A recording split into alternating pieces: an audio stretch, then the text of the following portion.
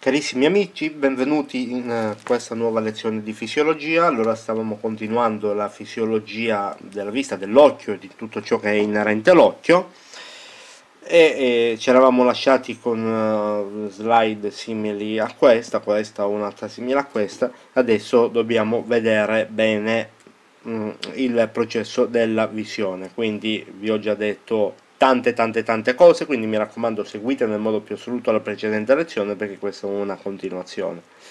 E se no cadete e non ci capite niente. Allora avete visto oh, già dall'anatomia macroscopica e microscopica conoscete l'occhio la struttura dell'occhio sapete eh, come è fatta la retina gli strati della retina in ogni caso ve li ho ripresi un po' nella precedente lezione Adesso andiamo a vedere un po' meglio i fotorecettori coni e bastoncelli che ricordatevi non sono neuroni.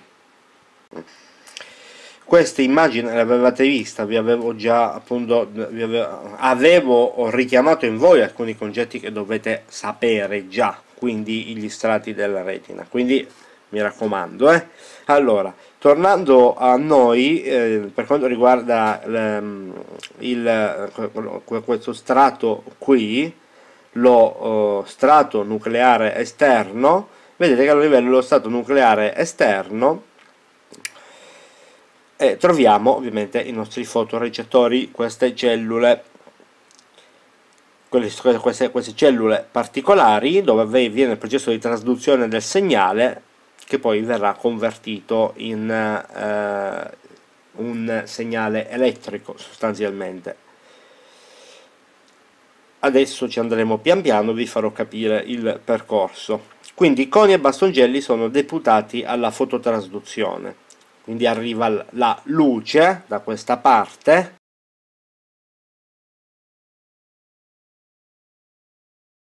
Adesso dovete capire un concetto molto molto molto importante.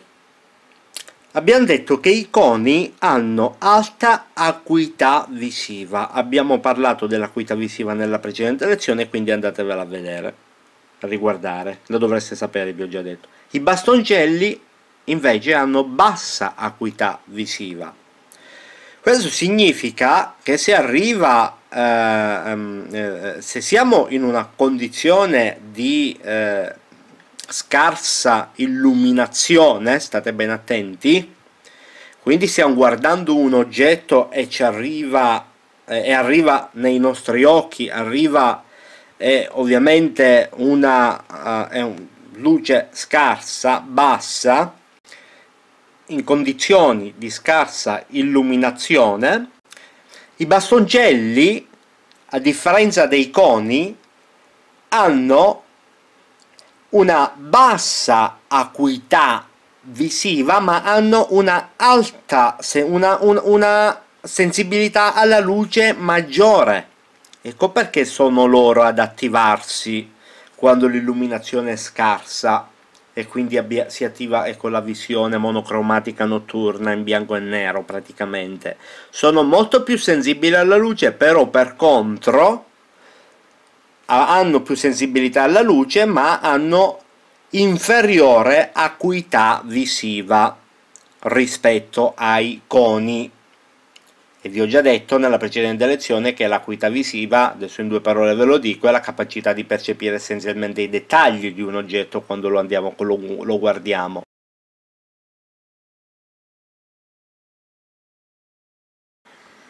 Per capire quanto detto in precedenza dovete comprendere il fenomeno della convergenza. Questi sono due schemini molto molto molto didattici, in nero questi segmenti rappresentano i bastoncelli, in giallo questi segmenti rappresentano i coni, ognuno un cono, eh? qui i numeretti per ogni numeretto consideratelo come se fosse un fotone quindi eh, sono stimoli luminosi un stim uno stimolo luminoso uno stimolo luminoso uno stimolo luminoso uno stimolo luminoso uno stimolo luminoso e via dicendo idem qui uno stimolo luminoso uno stimolo luminoso uno stimolo luminoso uno stimolo luminoso uno stimolo luminoso in blu questi pallottoloni eh, più grandi eh, sono invece le cellule gagliari e eh, questi segmenti rossi rappresentano il percorso che poi fa l'informazione verso le cellule gagliari. Per poi, in fin dei conti, dalle cellule gagliari nasce il potenziale d'azione che vi ho indicato con queste frecce qui diretto al sistema nervoso centrale. Adesso state bene attenti Ovviamente come sapete i coni e i bastongelli non è che contraggono sinapsi direttamente con le cellule gagliari, quindi quello è un schema molto didattico, sapete con che cosa contraggono sinapsi, eh, però ehm, le sinapsi che contraggono i, ehm, eh, i, i bastongelli avvengono in modo tale che ci sia in fin dei conti, per quanto riguarda i bastongelli, una maggiore convergenza verso oh, le cellule gagliari. Quindi essenzialmente, eh, ecco questo rispetto ai coni dove la convergenza è eh, minore. Quindi essenzialmente eh, questo significa che se la convergenza nei coni è inferiore allora ogni cono detto in breve così in eh, modo molto semplice trasmetterà l'informazione ad una cellula, cellula gagliare per farvi comprendere cos'è la convergenza in ultima analisi ad una cellula gagliare Invece, dato che i bastoncelli abbiamo detto che hanno alta convergenza, significa che più bastoncelli andranno a trasmettere l'informazione ad una singola cellula gagliare. Ovviamente in ultima analisi perché come vedete le sinapsi, come vi ho già detto, non sono dirette. Però questo è il concetto, quindi sto cercando di farvelo capire un attimino un po' anche se non in modo rigorosamente scientifico, ma da un punto di vista concettuale, perché essenzialmente il concetto è quello.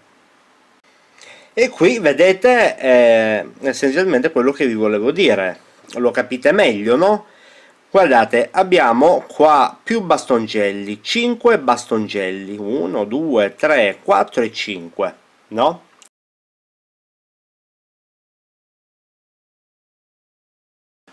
Quindi state ben attenti, prendiamo un nostro recettore, ecco, a livello di un disco, siamo qui e ingrandiamo questa regione qua, piuttosto che questa, piuttosto che questa è uguale, ingrandiamo questa regione qui, a questo livello, quindi a livello del segmento esterno che si occupa della fototrasduzione, quindi ingrandiamo una struttura del genere, un disco ecco vedete? Questo è, è il, eh, quel disco che vedevate prima essenzialmente quello che vi, vi, vi, facevo vedere prima con laser. È tutto più ingrandito. E vi, eh, questa è, è, ovviamente tutto, eh, è, è, parte della nostra cellula. Ecco guarda, eh, guardate qui. Questa è un'immagine più un disegnino più piccolo eh, ma identico praticamente eh, nella logica a quello che avevate visto un secondo fa quindi vedete questi dischi.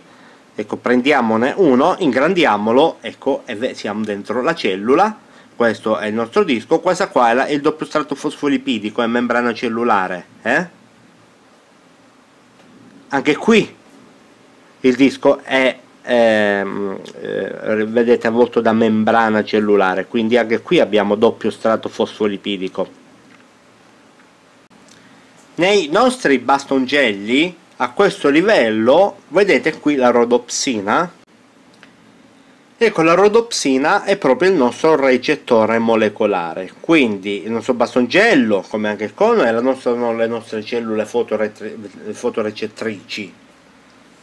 Eh, però ecco prendendo il bastongello in quanto cellula fotorecettrice ecco a livello dei dischi qui vedete immersa nel, eh, nel abbiamo una proteina transmembrana vedete che attraversa la membrana che è, è formata da sette domini transmembrana ad alfa elica e, e tale, eh, tale proteina prende il nome di rodopsina questo è il nostro recettore molecolare sensibile alla luce, poi vedremo meglio. Per adesso vorrei parlarvi un attimino della rodopsina. State bene attenti, non vi posso scrivere tutto, scrivete eh, tutto ciò che, quello, quello che vi dico.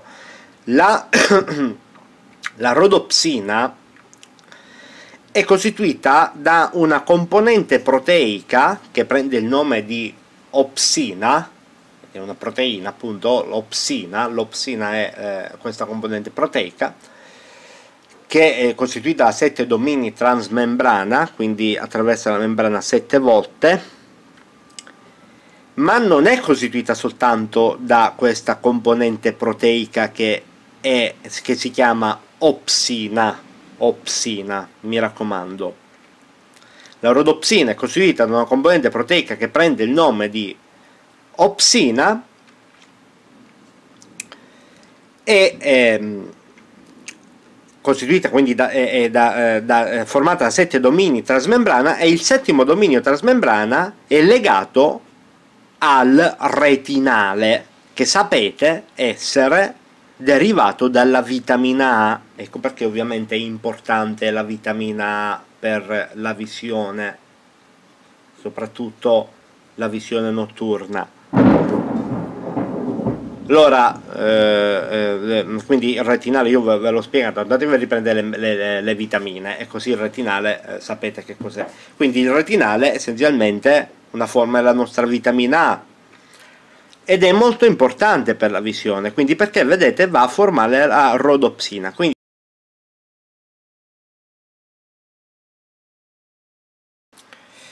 Vedete, vi ho messo la molecola di retinale. La molecola di retinale, questa qui, è legata all'opsina sotto questa forma, sotto forma di 11 cis retinale, quindi nella forma cis. Mi raccomando, chimica organica, studiatela non bene ma benissimo, anzi più che benissimo lo dovete sapere.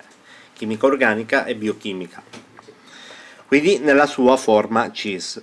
L'11 cis retinale può essere convertito nella sua forma trans, 11 trans retinale poi vedremo come avvengono queste conversioni e perché l'11 cis retinale eh, poi si eh, converte in 11 trans retinale e poi eh, e viceversa. Perché avvengono questi? Per il momento sappiate che appunto la rodopsina è legata all'11 cis retinale che può essere nella sua forma cis e però può, può, cambiare conformazione nella sua forma trans, quindi da 11, 11 cis retinale sopra diventa 11 trans retinale sotto, poi vedremo nel dettaglio perché.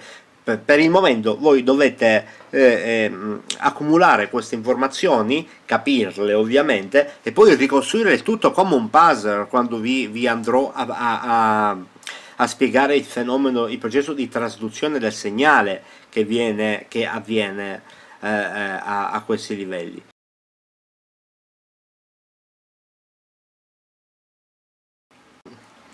Nei coni vi dicevo il recettore molecolare che eh, trovate in fin dei conti non è che vari molto dalla, da, mm, dalla rodopsina abbiamo l'opsina anche qui rega, legata alla molecola di retinale eh, eh, sotto forma eh, di 11 cis retinale, quindi in, questa è la conformazione, nella conformazione 11 cis retinale, e ehm, però dovete, eh, ehm, che, eh, dovete comprendere un aspetto importante, a parte la differente sensibilità che vi ho già spiegato prima. I coni eh, ovviamente percepiscono oh, eh, la luce diurna, questo ve l'ho detto in mille modi diversi, parlandovi della convergenza, chi più ne ha più ne mette. E ovviamente percepiamo ciò che vediamo, se tutto funziona bene, non abbiamo particolari patologie, percepiamo lo spettro del visibile, quindi percepiamo i colori. Questo perché?